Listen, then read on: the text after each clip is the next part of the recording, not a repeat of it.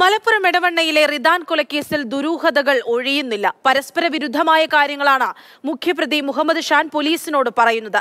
ലഹരി മാഫിയയുടെയും സ്വർണക്കടത്ത് സംഘത്തിന്റെ അടക്കം പങ്ക് സംശയിക്കുന്നുമുണ്ട്.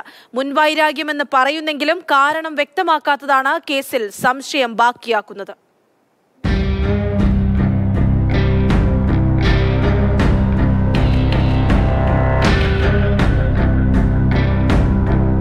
ഇടവണ്ണയിലെ റിദാൻ ബാസിലിന്റെ കൊലപാതകത്തിൽ മുഖ്യപ്രതി മുഹമ്മദ് ഷാന്റെ മൊഴിയുടെ അടിസ്ഥാനത്തിലാണ് ചാലിയാർ പുഴയിൽ തിരച്ചിൽ ആരംഭിച്ചത്.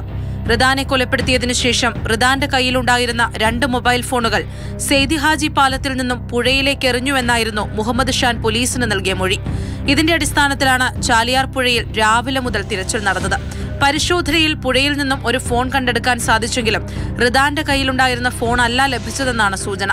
മുഖ്യപ്രതി മുഹമ്മദ് ഷാനെ കസ്റ്റഡിയിൽ വാങ്ങിയാണ് ഇന്നും തെളിവെടുപ്പ് നടത്തിയത്. കഴിഞ്ഞ ശനിയാഴ്ചയാണ് എടവണ്ണ സ്വദേശി റിദാൻ ബാസിലിനെ എടവണ്ണ ചെമ്പകുത്ത് പുലിക്കുന്നുമലയിൽ മരിച്ച നിലയിൽ കണ്ടെത്തിയത്. പിന്നീട് നടത്തിയ പരിശോധനയിൽ വെടിയേറ്റാണ് റിദാൻ കൊല്ലപ്പെട്ടതെന്ന് പോലീസ് സ്ഥിരീകരിച്ചു. അന്വേഷണത്തിനൊടുവിൽ റിദാൻ ബാസിലിന്റെ അടുത്ത സുഹൃത്തായ എടവണ്ണ മുണ്ടേങ്ങര സ്വദേശി മുഹമ്മദ് ഷാൻ പിടിയിലായി. പോലീസിന്റെ ചോദ്യം ചെയ്യലിൽ ഇയാൾ കുറ്റം സമ്മതിച്ചു.